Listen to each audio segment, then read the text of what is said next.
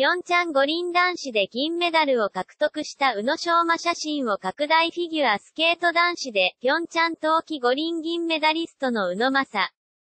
医学、20イコールトヨタ自動車が自身の公式サイトで、新しいシーズンのフリーをベートーベンの、結構、で滑ると発表した。宇野は、新しいシーズンを迎えるにあたり、そして、新しいルールに対応できるよう日々、練習に励み、その中で新 FP も少しずつですが着々と進んできています、と現状を報告。そして、今シーズンは僕が尊敬するレジェンドの皆さんが使用してきた、石膏を選びました。まだまだ自分のものにするには時間と練習が必要ですが、僕ならばではの、結構、が滑れるように、より一層の努力をしていきます。